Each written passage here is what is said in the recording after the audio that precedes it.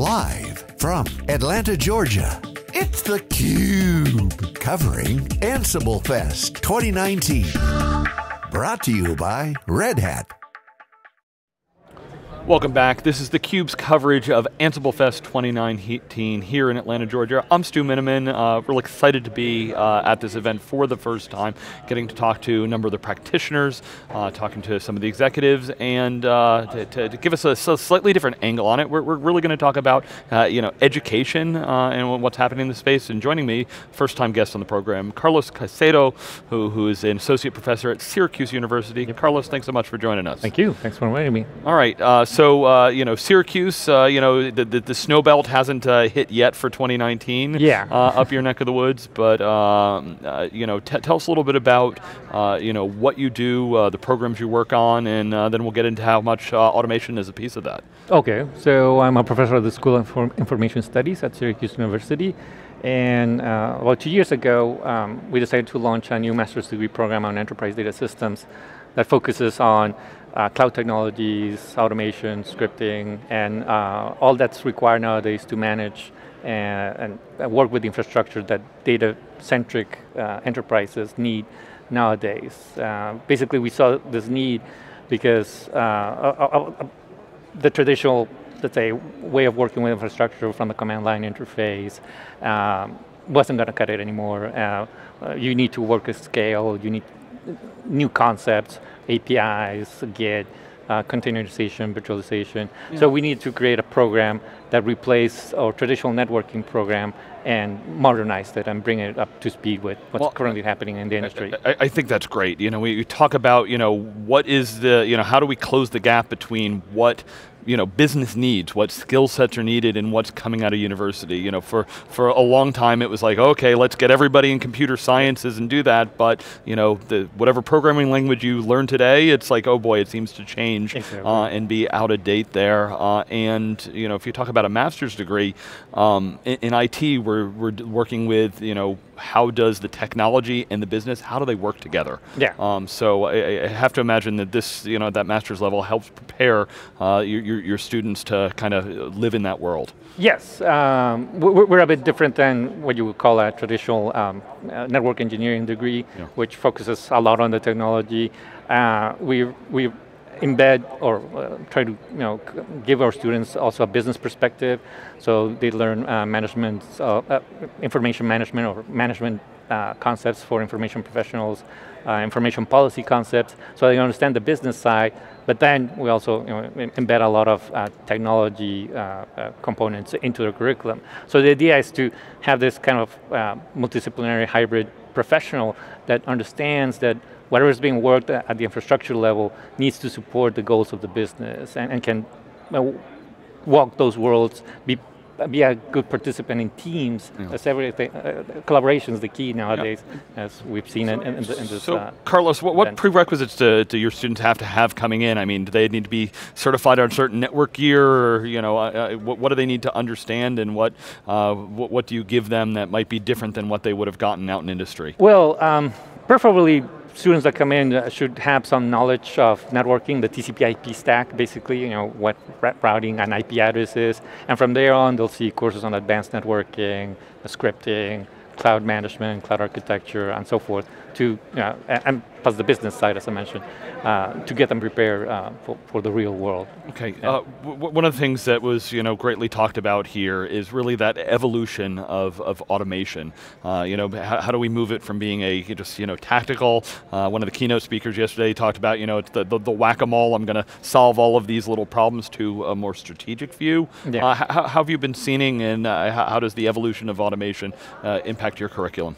Well, um, that, that's a great question. So, so, the idea is not to have automation for the sake of automation. Uh, like I said, we, we need a business focus uh, and whoever is participating in a team and moving the automation story forward needs to be uh, conscious that uh, the end goal is to support the business. However, in terms of how it has impacted our curriculum, uh, we embedded automation in several of our courses because um, th that's the way to go in the future. You, you, you can't just cut it with you know, a, device by device uh, kind of approach. So uh, it, everything, uh, nowadays changes too quickly and the demands for businesses to respond to these changes are, you know, require a, a, quick turnaround for whatever the infrastructure needs to provide to support the business. So, so we need to build professionals that understand this and can apply innovation to their benefit and to the benefit of, of their enterprise. Yeah, uh, okay. one of the interesting conversations we've had this week is that the, the, the software, the technology is actually helping to drive uh, some of the collaboration and communication between groups and yeah. roles. Um, you know, how much of that does get, does that get touched on at all? Uh, you know, when you talk about working with the business and, and yes, doing all so, that. So. so we're kind of big on team-based uh, assignments and labs, just to get students to understand they're going to have to be part of a team. And you, you might have people that speak a different language than you or at a different level uh, uh, uh you are, let's say, more business oriented, more process oriented, more technology oriented, but you have to be, well, at least the professionals we're preparing have to be that glue that keeps the team cohesive and, and working together to, to a common goal. So, so yeah, collaboration is key. Um, we, have seen that in this event that it's, it's all about changing the culture and, and, and having this, uh, let's say, positive approach towards being collaborative. And we're hoping that we're building professionals that from day one understand this and can be part of a team. All right, um, so you, you talk about uh, that that collaboration. I'm, I'm curious in higher education. You know, how how is what you're doing impacting your peers? How do you learn uh, from both your peers in education as well as in industry? Well, so at least you know at our university we we have um, a culture of collaboration between uh, different uh, departments and, and, disciplines. So I work a lot with engineering, we might work a lot with the business school, law school. So again, to bring this interdisciplinary uh, uh, knowledge to students. We also like to reach out to, uh, to industry and, and, build partnerships, build bridges so that um, we can leverage some of the resources they have, either to well, promote or educate people on their products, but also to get students to actually be very hands-on and work with um, things that are out there in the real world. So, so the idea is that um, they can speak the same language as many professionals that, uh, that are already out there. Yeah, can, can you speak to uh, you know Red Hat's participation? How are they partnering and enabling uh, what your mission is? So I've been using Ansible in several of my courses, and so we have a scripting course, just to mention one, where we, we do a lot of uh, modules on Ansible, and again, uh, uh, to understand this concept of mass automation, that automation is the key element for um, moving infrastructure and, and having infrastructure deliver goals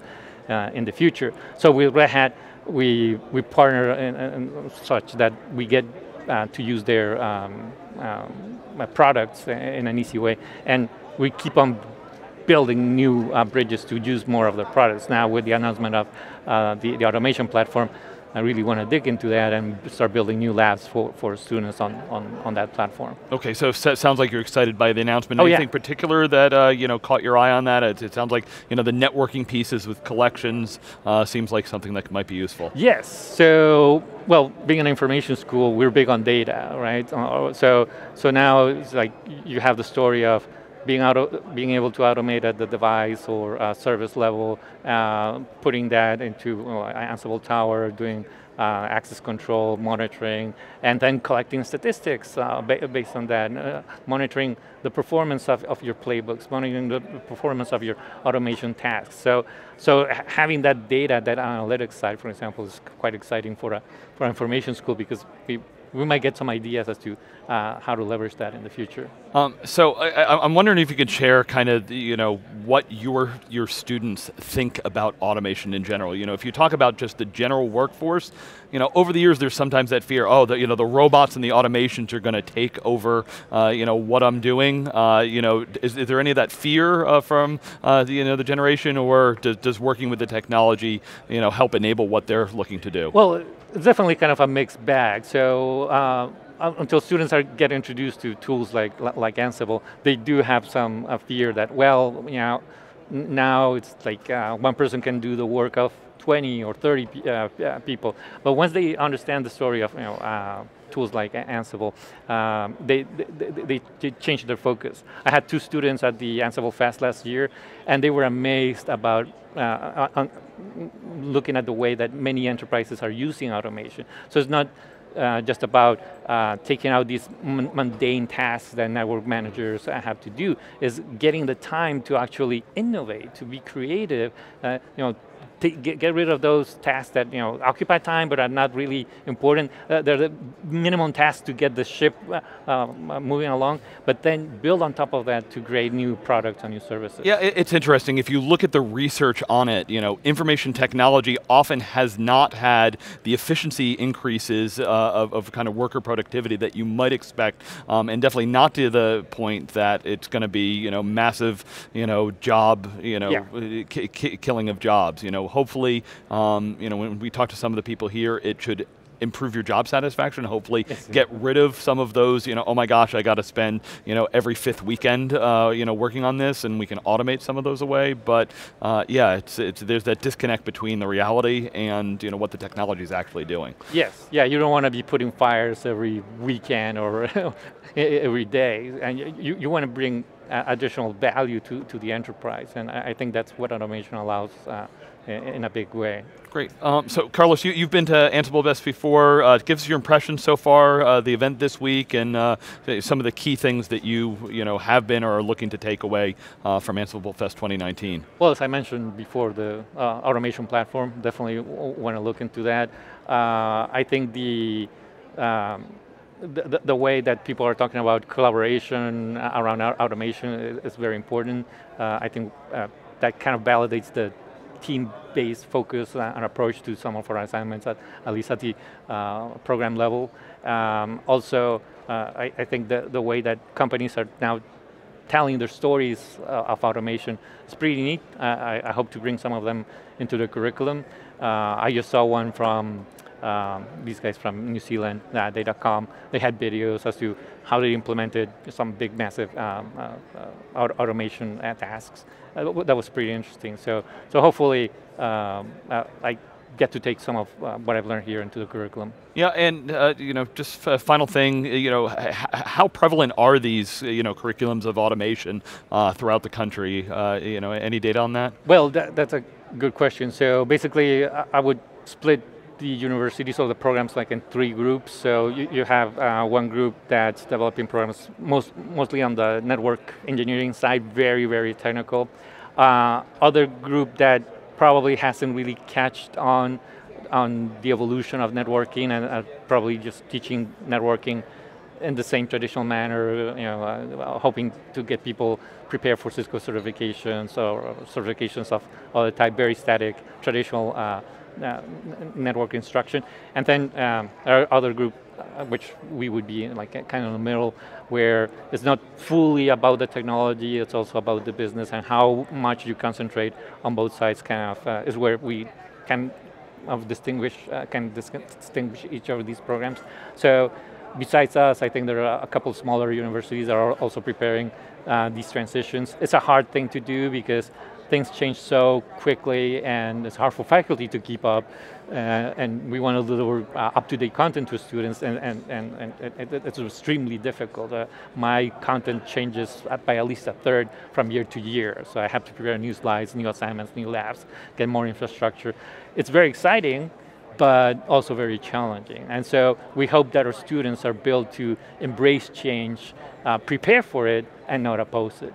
Uh, I, I, think that's a, it is a great mission. Uh, you know, not only does you know the technology and the business need to work close together, but uh, we know that the only constant in our industry is change. Yes. So, being prepared for as a workforce to be able to uh, you know live in that and thrive in that environment is so critically important. Carlos, uh, thank you so much for sharing with us. Uh, you know the curriculum at Syracuse, and you know we look forward to catching up with you in the future. Thank you. All right, Thanks. we'll be back with lots more coverage. I'm Stu Miniman. John Furrier is also in the house. It's our two days live coverage here from Ansible Fest 2019 in Atlanta. Thanks for watching theCUBE.